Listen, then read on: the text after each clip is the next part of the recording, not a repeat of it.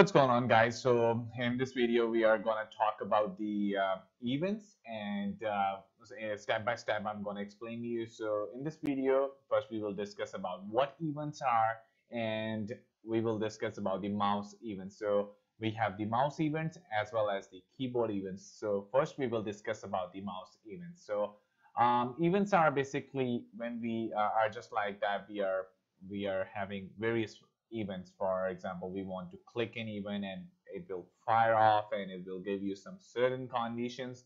Uh, so that's what we are going to exp uh, explain here in this video. So the first thing I'm going to do is to create a very basic button. So I created a button here with the uh, closing tag. And inside that button um, I'm gonna do is to create the uh, click event so button click equal to and uh, add the name of the if function or the name of your event function. So I give it the uh, click event and um, inside that I give it the name of the button to be click event. All right.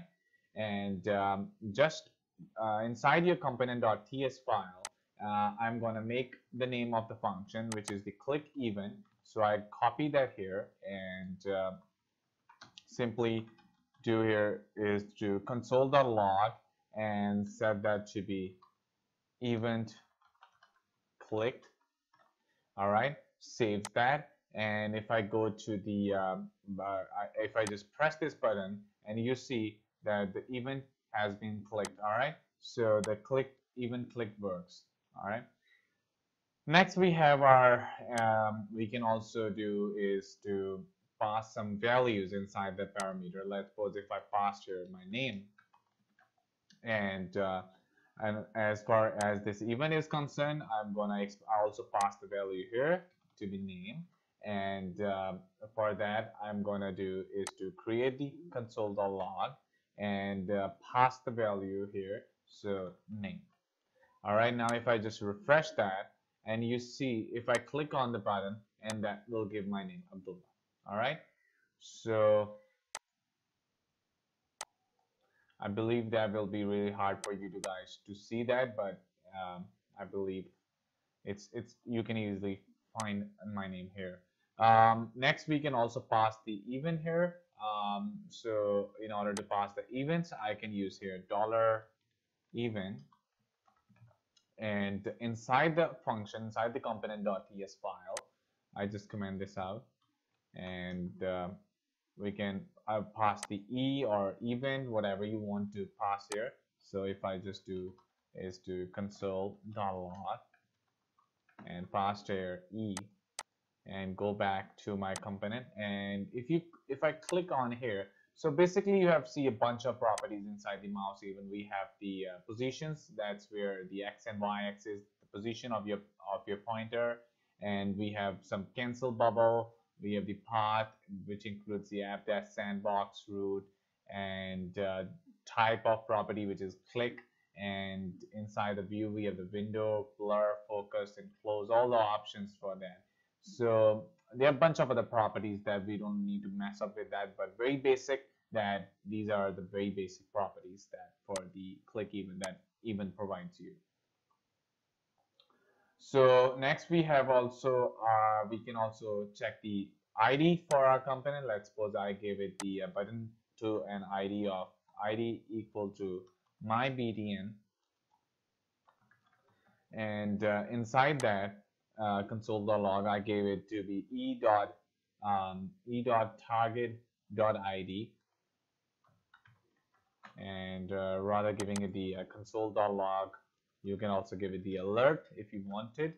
Uh, so if I just click on that button you see that the ID of my ID which I passed to my button is my BTN we can easily uh, extract that out through e.target.id um, we can also check the type.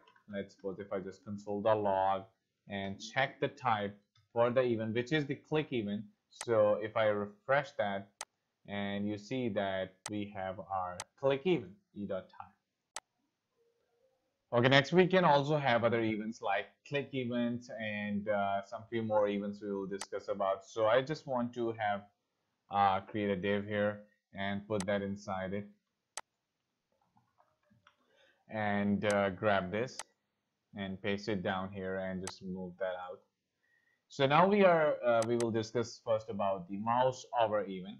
So here I put mouse over and uh, that's fine. That's click even. I don't need any parameter here. So just remove it here and give it the uh, mouse over.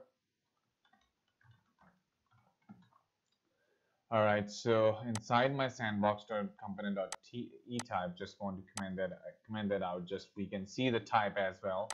So if I go and refresh it, and if I just put my pointer out it over it, so you see that already we have our value mouse over. So as much as I can hover over the button, so this even will fire off. So now I have the 12 times, right?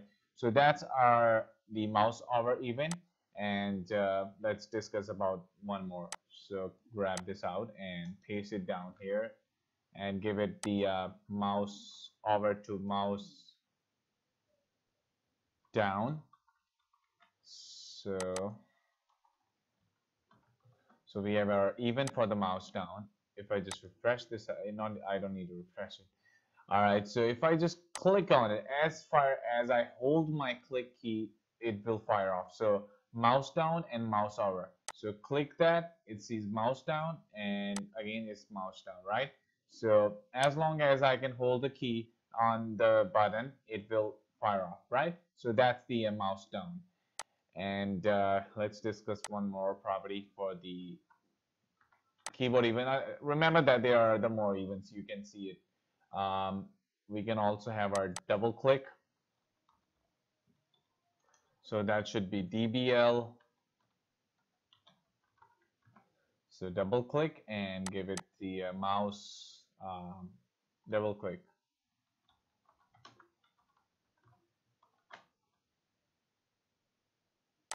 All right, so now if I just click it once one time, it will not work. But if I double click on it and you see now we have our type for the double click.